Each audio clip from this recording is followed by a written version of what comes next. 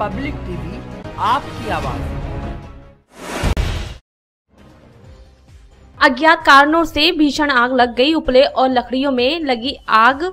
आसमान को छू रही आग की लपटों से मचा हड़कम मौके पर पहुँचे ग्रामीण निजी संसाधनों से पाया आग पर काबू। आग लगने के कारणों का नहीं चल सका कोई पता। नखासा थाना क्षेत्र के रिठाली गाँव का है मामला।